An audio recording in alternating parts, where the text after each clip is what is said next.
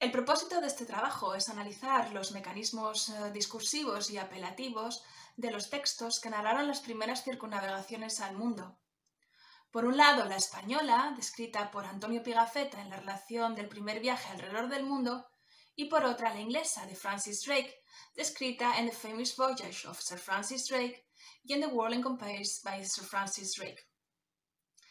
El análisis comparativo de estos textos revela que en pleno siglo de los descubrimientos ambos países buscaron similares formas discursivas a la hora de dar cuenta a la corona y a comunicar al mundo los nuevos lugares descubiertos.